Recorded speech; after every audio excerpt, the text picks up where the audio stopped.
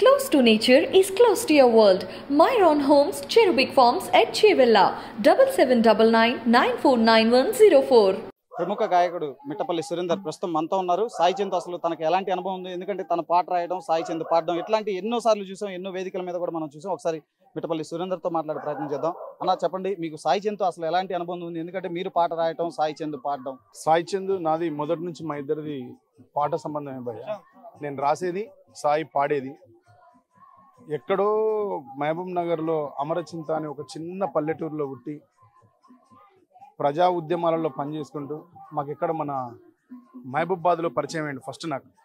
మహబూబాద్లో పరిచయం అయినప్పుడు మేము ఏ నేను ఏ ట్యూన్ ఇస్తానో నేను ఏ ట్యూన్ ఇస్తే ఆ ట్యూన్ని అక్యురేట్గా పాడగలిగిన గాయకుల్లో తెలంగాణ రాష్ట్రం మొత్తంలో ఇద్దరే ఇద్దరు. ఒకటి గర్జనన్న రెండోది సాయి చంద్.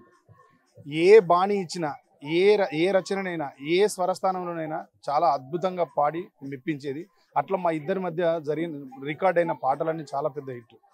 సాయి చంద్ లాంటి గాయకుడిని కానీ సాయి చంద్ లాంటి గేయ రచయితని కానీ సాయి చంద్ లాంటి వాగ్గేయకారుని కానీ సాయి చంద్ లాంటి పర్ఫార్మర్ని తిరిగి సంపాదించుకోవడం తెలంగాణ రాష్ట్రంలో చాలా కష్టం భయ్య. చాలా గొప్ప కళాకారుని కోల్పోయాను.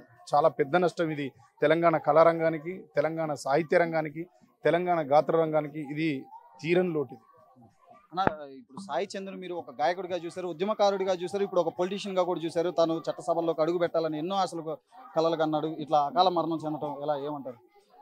ఇది ఇది చాలా బాధాకరమైన విషయం భయ్య. ఇది మేము ఎవరం కూడా ఎక్స్పెక్ట్ చేసింది కాదు. నేను ఈరోజు ఉదయం ఏడు గంటలు నిద్రలేసరికి చాలా అబ్నార్మల్ ఫోన్ కాల్స్ ఉన్నాయి నా ఫోన్లో అసలు ఎప్పుడు అట్లాంటి ఫోన్ కాల్స్ రావు. ఎంత ఎంతమంది ఒక సాయి చంద్ ఒక్కడు తనకు తానుగానే కావాలనుకోలేదు. సాయి చంద్ చట్టసభలో పోవాలని మేము అందరం అనుకున్నాం. సాయి చంద్ను చట్టసభలో చూడాలన్నది మా అందరి కోరిక. దాని మీదనే కృషి చేసిండు. ఒక పాటగాడు ఒక పాటను చేత పట్టుకొని ఒక పాటతోని ఇంత ఇంత ప్రజాభిమానాన్ని సంపాదించడం ఒక ప్రభుత్వంలో స్థానాన్ని సంపాదించడం దట్టు మా దళిత్ కమ్యూనిటీ నుంచి ఇట్లా రావడం అనేది చాలా కష్టసాధ్యమైంది.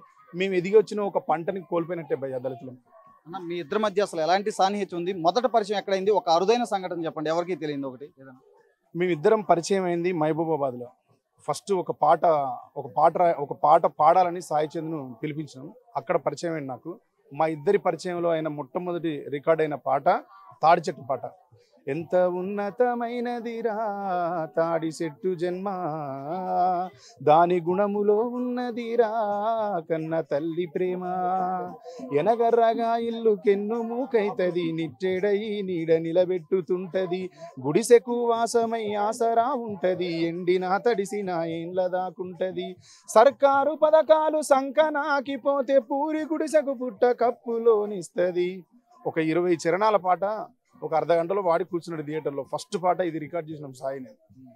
అక్కడి నుంచి మా పరిచయం అందరికీ తెలిసిన పాట రాతి బొమ్మల్లో కొలువైన శివుడు పాట దాకా విశ్వవ్యాప్తం అయింది అన్న ఒకసారి రాతి బొమ్మల్లో కొలువైన పాట పాడగలరు రాతి బొమ్మల్లో నకొలువైన కొలువైన శివుడా రక్తబంధం విలువ నీకు తెలియదురా. నుదుటి రాతలు రాసేవో బ్రహ్మదేవా తల్లి కొడుకుల ప్రేమ నీవు ఎరుగవురా.